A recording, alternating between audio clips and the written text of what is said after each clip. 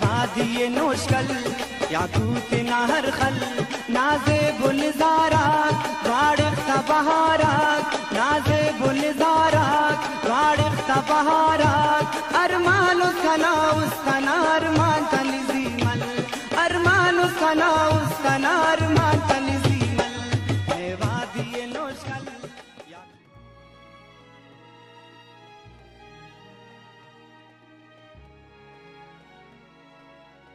حد نظر پھیلا ہوا صاف و شفاف سنہری ریگستان، اس پہ بنے قدرتی پیٹرن، اور یہاں کے خوبصورت نخلستان اسے پاکستان کا سب سے حسین خطہ بناتے ہیں۔ اگر آپ قدرت کا خوبصورت نظارہ دیکھنا چاہتے ہیں تو زندگی میں ایک بار نوشکی ضرور جائیں۔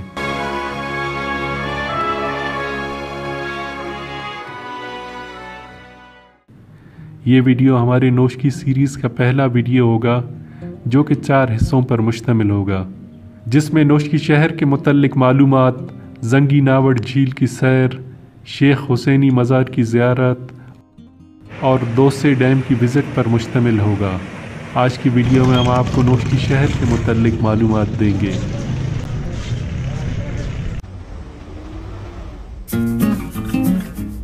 کوئٹہ سے نوشکی کا فاصلہ ایک سو چوبیس کلومیٹر پر محیط ہے۔ جہاں آپ دو گھنٹے میں پہنچ جاتے ہیں۔ ہم لوگ صبح سویرے کوئٹہ سے نوشکی کے لیے روانہ ہوئے۔ لگ پاس ٹنل کے بعد ہم قومی شاہراہ اینڈ فورٹی کی طرف مڑے۔ یہ قومی شاہراہ مستو نوشکی اور چاقی سے ہوتے ہوئے پاک ایران بارڈر پہ ختم ہوتا ہے۔ سارا راستہ پہاڑی اور ریگستانی علاقوں پر مشتمل ہے۔ اس کے علاوہ ریلوے لائن سڑک کے ساتھ ساتھ چلتی ہوئی زاہدن تک چلی جاتی ہے۔ راستے میں ہم لوگ شیخ واصل ریلوے اسٹیشن پر رکے، یہ خوبصورت ریلوے اسٹیشن کوئٹہ سے چالیس کلومیٹر کے فاصلے پہ واقع ہے۔ کوئٹہ نوشکی روڈ پر ایک گھنٹہ مسافت کے بعد آپ کے دائیں جانب شیخ واصل اسٹیشن کا سائن بورڈ نظر آتا ہے، جہاں سے آدھا کلومیٹر سفر طے کرنے کے بعد آپ اس خوبصورت اسٹیشن تک پہنچ جاتے ہیں۔ اس کو انگریزوں نے انیس سو پانچ میں تعمیر کروایا تھا۔ لیکن اکتوبر انیس سو بائیس تک اسے ایران کے شہر زائدان تک توسیع دی گئی۔ کسی زمانے میں یہاں پہ شور شرابہ ہوگا، لیکن اب یہاں آ کے احساس ہوتا ہے جیسے وقت رک سا گیا ہے۔ ضرورت کے حساب سے بنے کمرے اور چاروں طرف پھیلا ہوا خاموشی، جسے آپ الفاظ میں بیان نہیں کر سکتے۔ سڑک کی تعمیر کے بعد مسافر بردار ریل سروس بند کر دی گئی، لیکن ایک ہفتہ وار مال بردار ٹرین کوئٹہ سے ایران کے شہر زاہدان تک جاتی ہے۔ تھوڑی دیر چہل قدمی اور آرام کے بعد ہم لوگ اپنی منزل کی طرف روانہ ہو گئے۔ ہماری اگلی منزل شیر جان آغا کا مزار تھا۔ کوئٹہ سے ایک سو بیس کلومیٹر کے فاصلے پر واقع کوئٹہ تفتان روڈ کے دائیں جانب ہم لوگ مزار کی طرف مڑے۔ مزار دو پہاڑی سلسلوں کے درمیان ایک اونچی جگہ پہ واقع تھا۔ ایک چھوٹے سے بیرل کو کراس کرنے کے بعد ہم ایک چھوٹے سے دروازے کے ذریعے مزار کے سہن تک پہنچے۔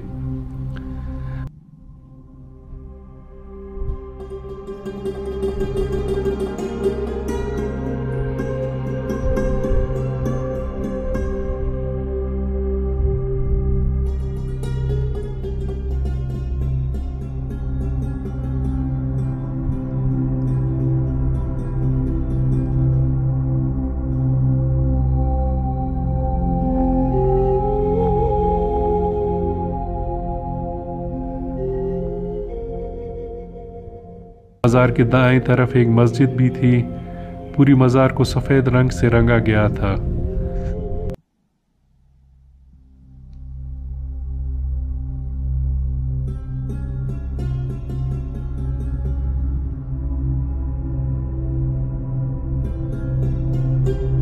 مزار پہ حاضری کے بعد ہم لوگ اپنی منزل کی طرف روانہ ہو گئے۔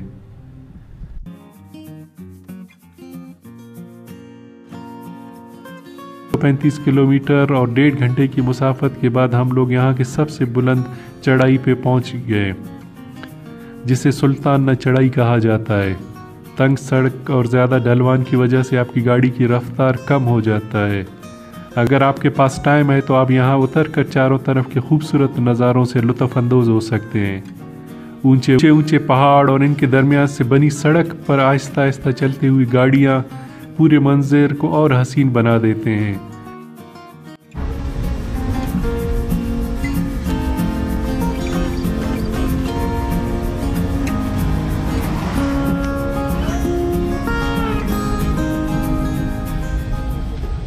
یہاں سے صرف بارہ کلومیٹر سفر طے کرنے کے بعد آپ نوش کی شہر پہنچ جاتے ہیں۔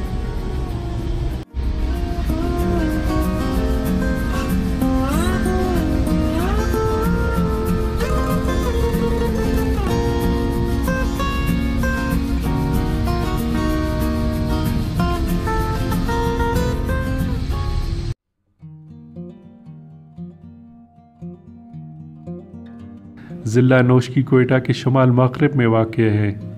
دو ہزار نو سو فٹ سطح سمندر سے بلند اور اونچے پہاڑوں کے دامان اور ریگستان کے پاس آباد یہ شہر اپنے سنہری ریگستانوں کی وجہ سے مشہور ہے۔ اسی وجہ سے اسے سٹی آف گولڈن ڈیزرٹ بھی کہا جاتا ہے۔ یہ ریگستان شمالاً اور جنوباً افغانستان کے صوبے ہیلمند تک پھیلے ہوئے ہیں۔ دو ہزار سترہ کے مردم شماری کے مطابق یہاں کی آبادی ایک لاکھ اٹھتر ہزار افراد پر مشتمل ہے۔ یہاں پہ بادینی، جمال دینی، مینگل، سید، محمد حسنی، بڑیچ، ساسولی لانگا اور دیگر قبائل آباد ہے یہاں کے لوگ بلوچی، براہوئی، پشتو اور اردو زبان بولتے ہیں۔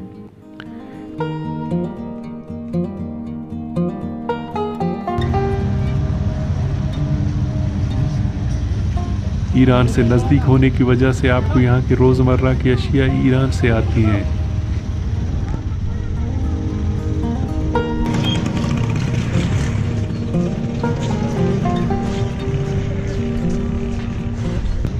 تربوز کے بیج یہاں کی مشہور سوغات ہے۔ بازار میں ہر جگہ آپ کو اس سال نظر آتے ہیں۔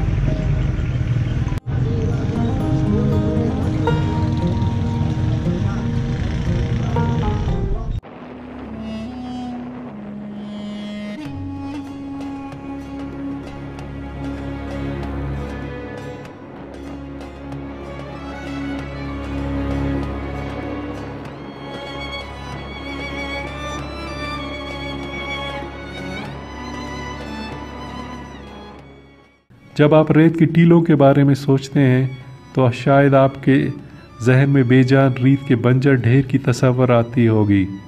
لیکن ریت کے ٹیلے دراصل متحرک قدرتی ڈھانچے ہوتے ہیں، جو کہ بڑھتے ہیں، ایک جگہ سے دوسری جگہ شفٹ ہوتے ہیں اور سفر کرتے ہیں۔ وہ جاندار چیزوں کی طرح رینگتے ہیں۔ کچھ ریت کے ٹیلے یہاں تک گاتے بھی ہیں۔ ان پہ بنے قدرتی پیٹرن ان کو اور خوبصورت بناتے ہیں۔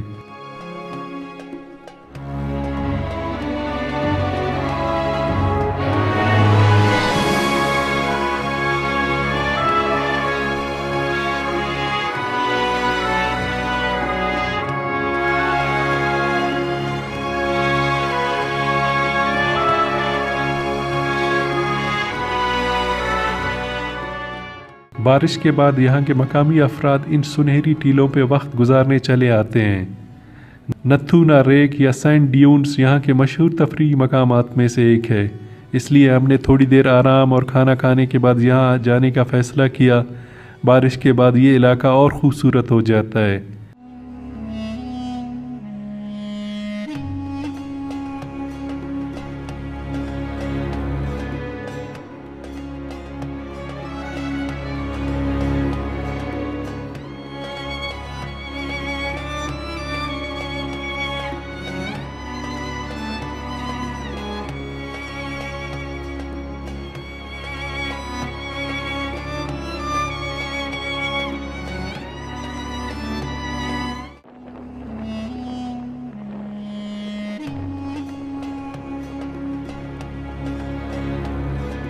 بارش کی پانی یہاں کی نرم ریت کو سخت کر دیتا ہے، جس کی وجہ سے لوگ یہاں کھچے چلے آتے ہیں۔ ریت کی خوبصورت ٹیلوں پہ چہل قدمی کرتے ہیں۔ کچھ من چلے اپنے گاڑیوں سمیت ان ٹیلوں پہ چڑھ جاتے ہیں۔ دوستوں کے ساتھ بیٹھ کر ریت کے ٹیلوں پہ غروب آفتاب کے خوبصورت منظر سے لطف اندوز ہوتے ہیں۔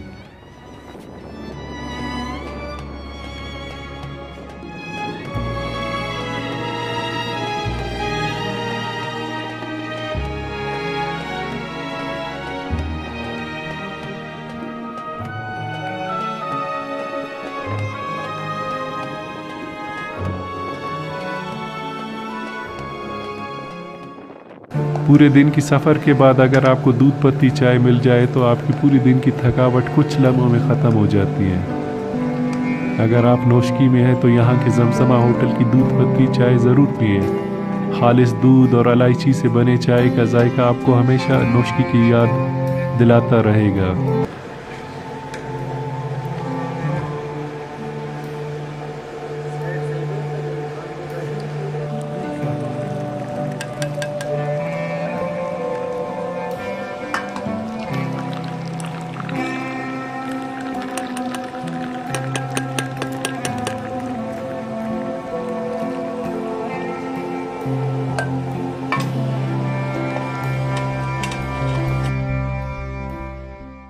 نوشکی بلوچستان کے ان اضلاع میں سے ایک ہے جہاں اسپورٹس کلچر عام ہے۔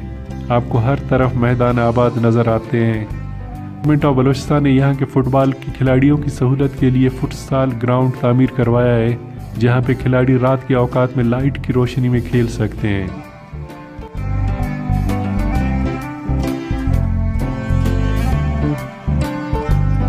اگر ویڈیو پسند آئے تو لائک اور شیئر کرنا نہ بھولیں۔ شکریہ۔